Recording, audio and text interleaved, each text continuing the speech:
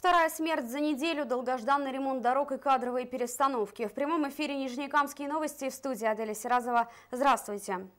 Очередное ДТП со смертельным исходом. 25 апреля примерно в 10 часов вечера на автодороге Шереметьевка-Нижнеуральтьма Благодатная произошел наезд на пешехода. Водитель 1491 года рождения направлялся в сторону Нижнекамска и сбил 35-летнюю женщину. Водитель попытался избежать столкновения, нажал на тормоза, и машина правой дверью все-таки задела пешехода. Э, пешеход скачался на месте.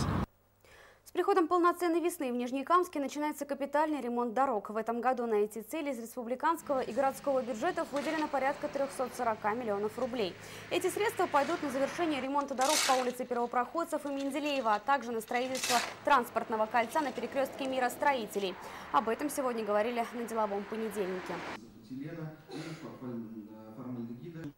На улице Симбике прошла акция «Лес Победы». Всего высадили около 70 саженцев. В мероприятии приняли участие ветераны, волонтеры, кадеты и представители администрации. Как отметил мэр города Айдар Медшин, теперь главная задача – сохранить саженцы, чтобы в будущем на этом месте создать парк отдыха.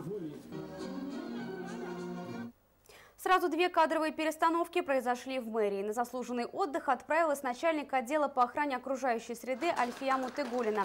На ее место назначена Ольга Чернышова. Она уже руководила отделом ранее, сейчас вернулась из декретного отпуска. И еще одно изменение. На должность начальника организационно-кадрового отдела Совета НМР назначена Гульгина Шамбазова. Ранее она работала в управлении социального развития Нижнекамска нефтехима.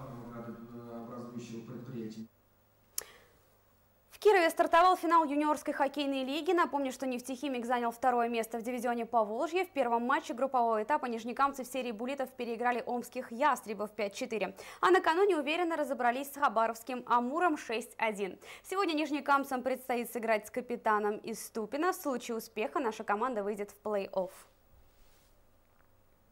О погоде сейчас в Нижнекамске плюс 8 градусов, к вечеру похолодает до плюс 4. Итоги коррупционной проверки об интересной находке Александра Комарова, напомню, наш коллега находится на раскопках в Смоленской области. Обо всем этом и не только в начале шестого. Напоминаем, что связаться с нашей редакцией можно по телефонам 077 41 13 13. Также сообщения можно присылать через сайт ntrtv.ru. Оставайтесь на нашем канале. Увидимся.